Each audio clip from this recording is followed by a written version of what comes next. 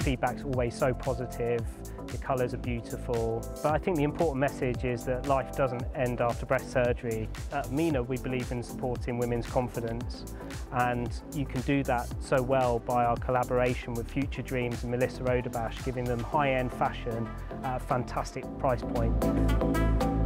It's quite remarkable now when you look back at the swimwear collaboration that we've been fortunate enough to do with Melissa Odabash and Amoena, the level of funds that it's raised for the charity and breast cancer support and research and awareness.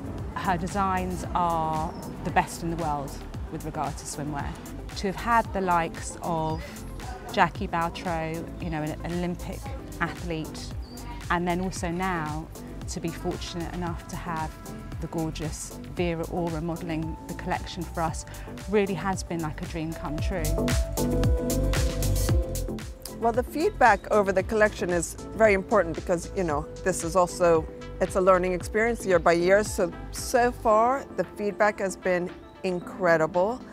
And I love giving back and I love everything about Future Dreams charity.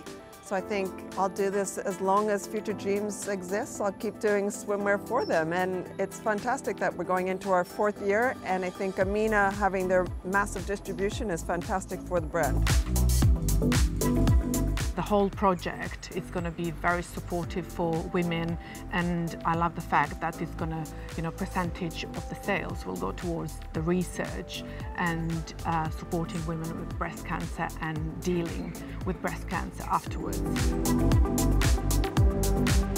I was really surprised and I'm so pleased that, you know, the quality of the swimwear, it's seamless, it doesn't hurt, it doesn't feel tight and stays in place, which is really important because obviously once you have you know, different intervention that can easily um, show.